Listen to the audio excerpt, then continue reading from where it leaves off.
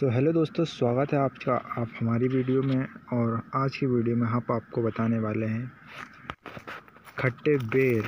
देखिए दोस्तों ये हमारे खेत की खट्टे बेर है और हमने सोचा चलो हम तो खाते ही खाते हैं आपको भी बताया जाए। तो देखिए दोस्तों ये है खट्टे बेर ये दड़े वाली बड़े पेड़ में नहीं लगती है छोटे पेड़ों में लगती है।